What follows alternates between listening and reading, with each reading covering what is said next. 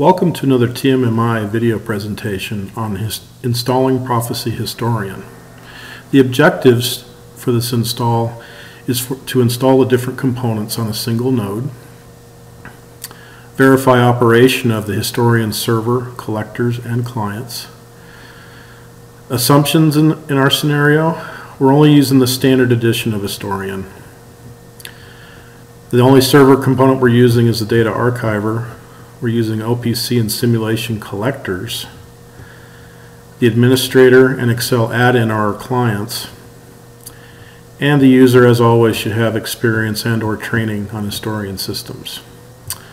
The historian standard install is very similar to previous versions of historian. There's individual installs for the Excel add-in, client tools, collectors, release notes, and even SQL Express, which is used for alarm and events only. The topmost link is for the full installation, which gives complete visibility into all Historian components being installed on this node.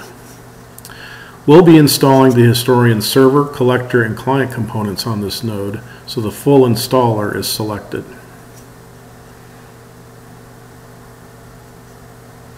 A benefit of the full installer is being able to see all components. When you first run this installer on a node, the checkboxes are the defaults. Subsequent runs of the installer on a node show what is installed, indicated by the checkboxes. Deselecting removes a component. The default selections are shown here, but we're not going to install the calc and file collectors.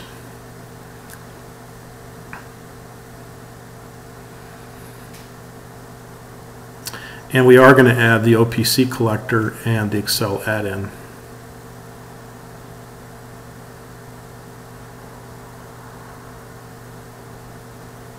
The next two panels cover different aspects of security, but on an initial install of Historian Server is recommended to go with the defaults.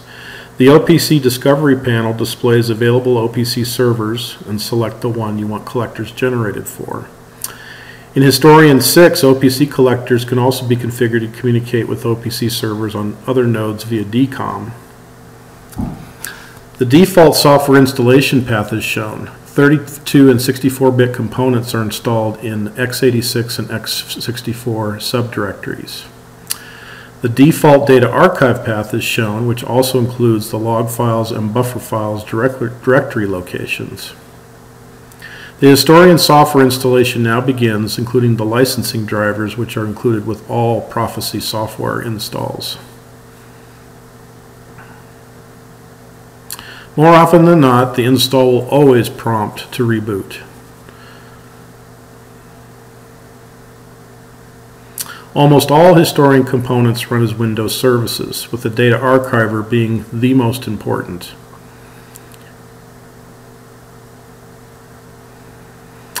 Onto the historian administrator, we can see both collectors are now running. OPC collectors have to be set to automatic. They default to manual. We can also see what licensing the historian sees and verify the key is being read properly. Navigating to the location of the archives, we can see the installer has created two additional folders, buffer files and log files. In the archives folder is a default config and system data store archive, which is where system messages are stored.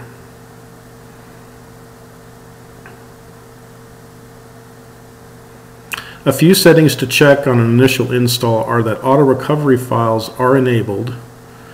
This used to default to being disabled, but in 6.0 it looks like they've changed that and also disable strict enforcement of client and collector connections.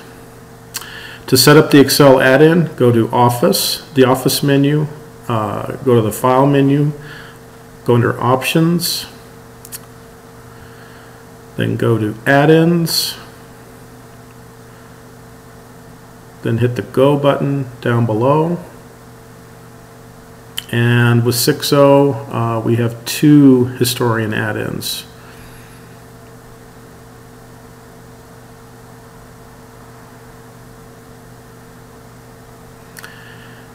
Now if we want to validate the basic workings of the system, we need to trace the value of a tag from the data source to the client.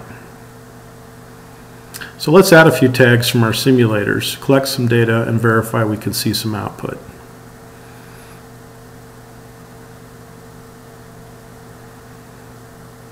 So we're selecting simulation tags from both the simulation collector and the OPC collector, which is also generating simulation data from an OPC server.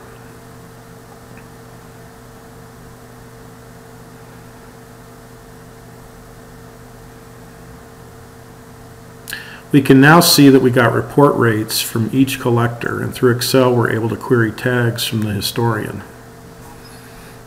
Those report rates basically show the events per minute that are being uh, read from each item. You can see our purple uh, menu bar at the top, and we can now do a simple query and see if we can see some tags uh, from our system, as we do here. All right, some key takeaways. Plan ahead of time on a network diagram what historian components are to be installed where, server, collector, and clients. Installs are done a node at a time, best to start with the server. Use the full installer for server and collector nodes, or for any node where you're going to be installing more than one component. After server and collector installation, validate data being stored is accurate with what is being read from the device. Verify your client nodes are able to connect to the server and perform queries. And verify all the components start automatically. Thank you for watching.